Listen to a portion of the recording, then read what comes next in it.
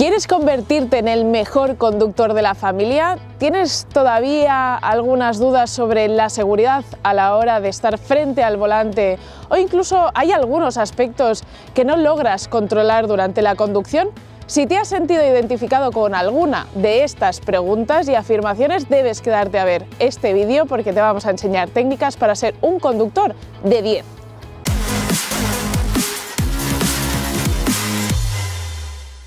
Nos hemos venido a la Escuela de Conducción Segura que tiene el RAC en Madrid. Son 52.000 metros cuadrados de superficie en el que nos encontramos pues, zonas deslizantes, una placa hidráulica e incluso un poquito de terreno off-road para hacer cursos de conducción fuera pista. Y esa es la clave del RAC aquí en Madrid y también en Barcelona, que tiene cursos de conducción, bien sea de conducción segura o de conducción deportiva, para principiantes y también para expertos. Correr nunca es una buena opción al volante, así que vamos a ir paso a paso y poco a poco, empezando por el primer punto que es la posición de conducción. Os puede parecer sorprendente y muy básico, pero si te vas fijando en cómo conduce la gente por España, verás que o están muy altos o están muy bajos, están muy cerca del volante o muy lejos, así que en este vídeo os vamos a explicar la posición de conducción perfecta frente al volante.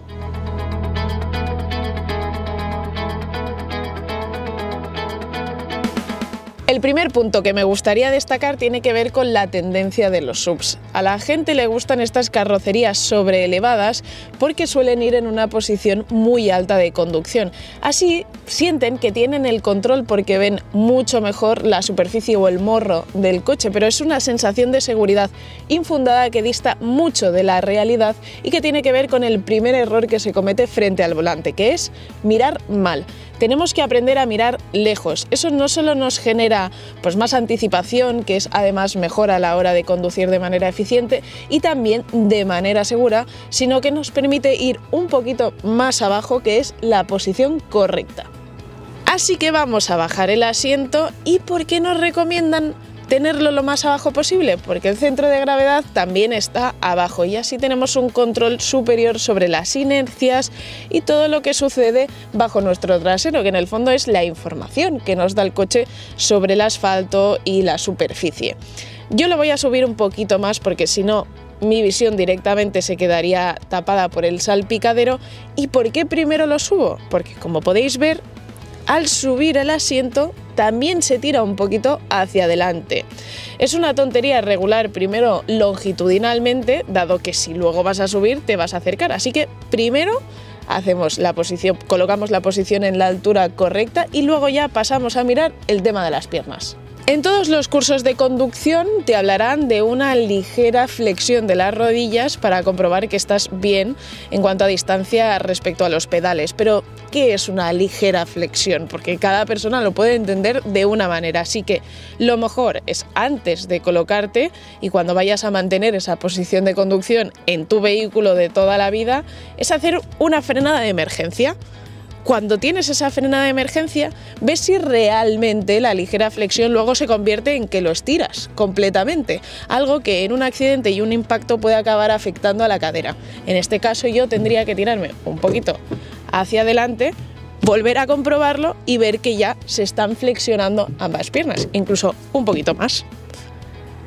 El siguiente punto sería el volante, pero os habréis fijado en un detalle, y es que no tengo el respaldo bien puesto.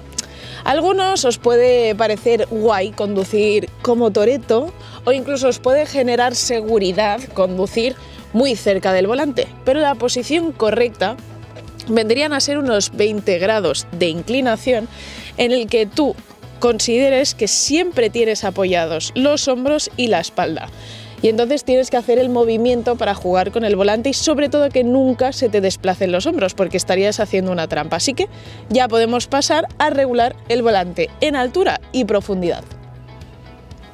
El truco de las muñecas sobre el volante lo conocemos todos los que hemos pasado por una autoescuela, así que vamos a empezar a regular el volante para que se aproxime y por suerte los vehículos medianamente nuevos tienen regulación en altura y en profundidad. Así que hacemos una aproximación Y teniendo en cuenta lo que comentábamos del respaldo de no despegar los hombros, vemos si nos acercamos, me queda un poquito lejos todavía, así que me tengo que acercar más el volante. Y sobre la altura tiene que en la posición quedar a unos 90 grados de flexión. ¿Por qué? Porque cuando volvemos a hacer la simulación de frenada de emergencia no pueden quedarse completamente estirados los brazos y así evitaremos lesiones muy graves. Y no, no nos hemos olvidado del cinturón. Sí que es cierto que hace mucho frío y por eso estoy con la chaqueta. No es recomendable circular con demasiada ropa, menos aún tan voluminosa. Tras fijar el cinturón deberemos apretarlo. Este movimiento algunos vehículos premium ya lo hacen por sí solos, pero si no es el caso, lo mejor es que te lo aprietes tú mismo. Y también tienen algunos la regulación, porque lo mejor es que te quede en la clavícula. Hemos debatido sobre este tema con la gente de los cursos de conducción segura del RAC y si a ti te queda demasiado apretado o demasiado cerca del cuello porque vas en una posición muy baja, lo primero es la seguridad. Tendrás que perder esas sensaciones y tener la vista un poquito peor, pero lo mejor es que nunca te quede el cinturón a ras de cuello. Y por último, la posición de las manos al volante. Por mucho que lo crean algunos, no mola ir así, no es guay ir así y mucho menos ir así. El volante debe cogerse con la mano derecha a las 3, la mano izquierda a las 9, porque además así tenemos mucho más cerca algunos comandos importantes del vehículo como los intermitentes, que muchos no utilizan como deberían. Así que con las manos bien colocadas a la hora de girar, la gran mayoría de giros no nos obligarán a pasar de estos radios. Lo que debemos evitar a toda costa es cruzar por completo las manos porque aquí estamos vendidos.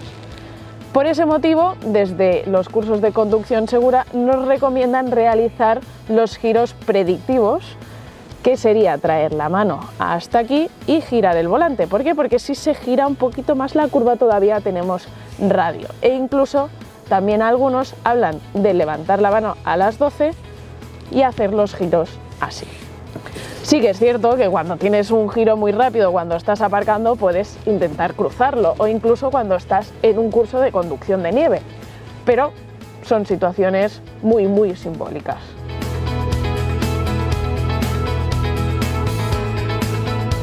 Espero que os haya resultado interesante este primer capítulo sobre técnicas de conducción segura. Seguir atentos porque todavía queda mucha información por daros.